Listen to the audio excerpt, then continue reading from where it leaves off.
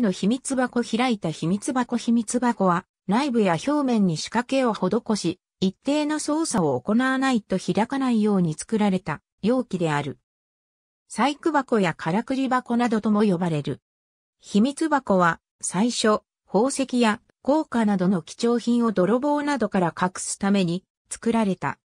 正確な起源は不明であるが少なくとも18世紀末には存在していたことが確認されており、19世紀末に発刊されたパズル書パズルオールドニューには多くの秘密箱が掲載されている。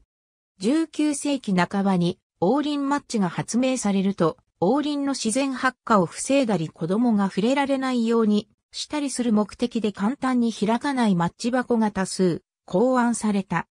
赤輪マッチの登場後これらのマッチ箱は使用されなくなり、生産もされていないが、コレクターの収集の対象となっている。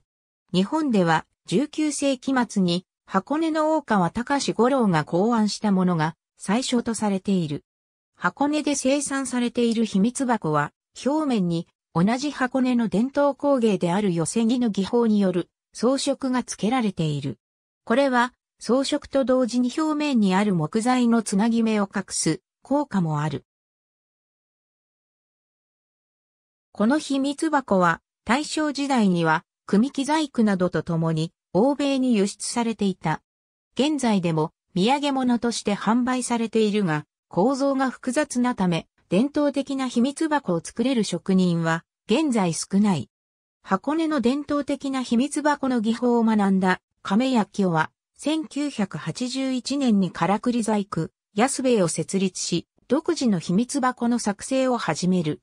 彼は伝統的な脳型体の箱から脱却し、様々な形の作品とそれに見合った新たな開け方を考案している。その新しい亀井の作品をからくり箱と亀井自身が命名した。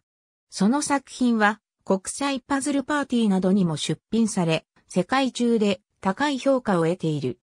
1999年、亀井らはからくり創作研究会を設立した。同会は小田原市を中心に活動を行い、新たなからくりを考案している。また、日本各地で作品展を催している伝統工芸品である。ありがとうございます。